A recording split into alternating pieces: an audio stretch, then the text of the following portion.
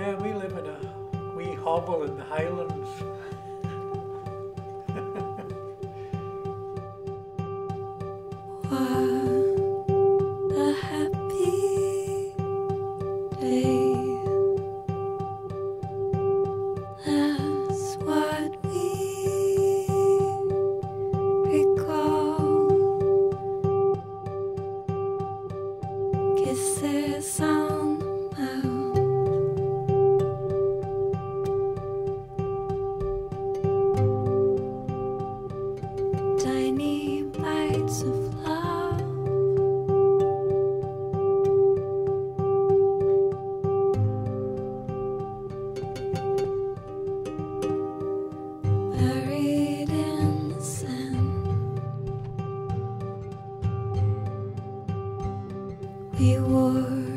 each other's face.